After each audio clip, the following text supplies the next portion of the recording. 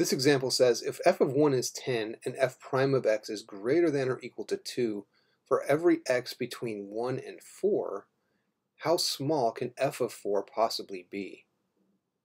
With these types of exercises, and really with any exercise in math, it's helpful to sketch a diagram when you can. So let's see if that helps. So we're given a function and told that f of 1 is 10, which we'll say is about here. It's just a rough sketch, right? And we're investigating the range between 1 and 4 here on the x-axis. Um, and what it tells us is for all the points in between there, the derivative is always greater than or equal to 2. So I don't know what's going on here, but it's it's definitely going up. 2 is pretty steep. So we can imagine this going something up like so for 4 right? Maybe maybe it goes up like this. You know, uh, maybe it goes up like this. I don't know how it gets there, but that derivative is always greater than or equal to 2, and that's pretty steep. So it looks like we're going to use the mean value theorem here. So for the mean value theorem to work, we need to show that it meets these conditions. So we have if f is continuous on 1 to 4 in our case. Well, I don't know. It doesn't say much about it being continuous up here, but it does says that it does say that this derivative exists and is greater than or equal to 2. Recall that when we first talked about differentiability, there was a theorem that says if a function is differentiable, then it is continuous. So for this derivative to exist and be greater than or equal to 2 for every x between 1 and 4, we can say that it's differentiable and thus continuous. So we can check off the conditions for the mean value theorem.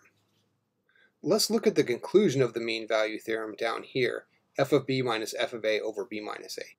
In the context of this particular example, our a is 1 and our b is 4. So we have f of b minus f of a all over b minus a is equal to, okay, so that's really f of 4 minus f of 1 all over 4 minus 1. Okay, so that's progress, because this is what we're trying to solve for. Let's look at the minimum case. Okay, the minimum that this can possibly be is 2. Because if it were any smaller, we'd be able to find some point, right, some point c in that interval such that the derivative would be equal to that smaller slope. And we know from the original problem that all of these derivatives, the derivative everywhere in here is greater than or equal to 2. So the secant line can never be less than 2. So let's just examine the minimum possible case where it equals 2. So this gives us 2 equals f of 4 minus, well we know f of 1 is 10, that's given, over 3, and now we can simply solve for f of 4.